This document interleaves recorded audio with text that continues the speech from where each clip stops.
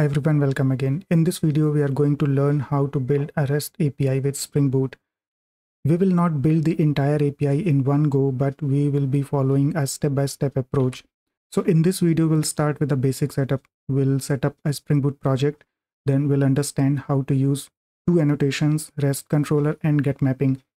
And in the subsequent videos, we will add more features to this API. Before we start, don't forget to subscribe so that you don't miss the future updates. So let's get started. The first step is to set up the project. To do that, we'll use Spring Initializr. I'm going to use the Spring Initializr plugin in IntelliJ, but you can do the same thing on their website. It will be a Maven project. Then we'll add the group, which is my username,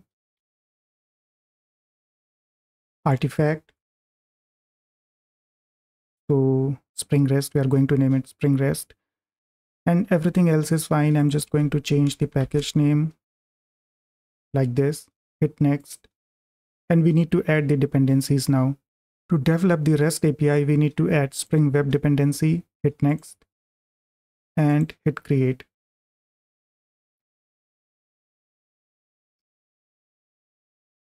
This will now set up a spring web project so the project setup is now complete, including all the dependencies. Let's verify the pom.xml. Here we have the pom.xml.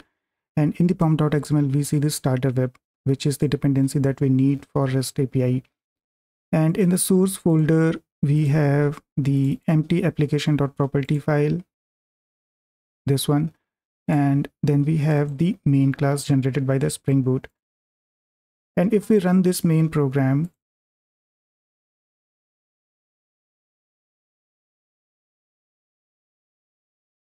Notice that because it's a Spring Web application, Spring Boot automatically configured a Tomcat server. So if you notice in the logs, it started the Tomcat server on the default port, which is 8080. So we have a web server running on our local machine using Spring Boot. And we didn't have to do anything extra. We just added the Spring Web dependency. We will utilize this feature to build our own API. Before we start building an API, we need to understand few basic things about APIs. Almost all the APIs expose resources. Now, resource could be anything. It could be a document. It could be some traffic information. It could be some weather information. So for example, Google has dedicated APIs related to Google Docs and a client can use those APIs in order to upload some document or download some documents. In the same way, Amazon and Azure, they have their own APIs for let's say blob storage. So we can use those APIs to work with blobs to work with storage. And in the same way, whatever API we are building, it will expose a resource. It could be some transaction data, it could be a student, it could be an employee, whatever it is, it will be a resource. Now these resources are accessed via URIs. Each resource is available at a certain location. And because REST uses HTTP calls, REST under the hood uses HTTP specification. So these URIs are basically HTTP URLs. As you can see here, it's a sample URI for a resource which is available at this location. So this is the base address of the API where you will find the API. Then this is the URL path where you will find that particular resource. So in order to access the resource, REST clients, they make HTTP calls. It could be HTTP GET or POST depending on the operation supported by the API. And then accordingly, the API service will listen the requests, it will process the requests, and it will return the response back to the client. Okay, so in this video, our target is to build an API that will return the health information of the API. In this case, because the service is running on the local host and it's using port 8080, so the address will be localhost colon 8080. That will be the address of our API which will be available at this location. So if a client is making an HTTP call to localhost colon colon 8080, the service will be able to capture that request. Now, in order to return the health information, we will expose an endpoint and the URI of that endpoint will be health. So we will build an API that will return the health information if a client is hitting this URL. How do we do that? In order to build any API using Spring Boot, we need to first write the controller. To do that, we'll add a new package and I'll name it controller. And in this controller we'll create a new class and we'll name it health controller. It's a simple java class. Now the important thing is we need to annotate it with the annotation rest controller it's a special annotation that tells Spring Boot that this particular class is able to handle the incoming request and it will return some response back to the client. And an application can have multiple controllers for different types of requests. In this case, because we are going to have a single endpoint, which is health, we'll create a single controller and we have annotated this controller with at the rate rest controller. That is the first step in building any API. We need to write a controller and we need to annotate it with this annotation. Okay, now that we have defined the controller, Spring Boot knows that yes, there is a class, there is a controller that can handle the incoming requests. But how does it actually process the request?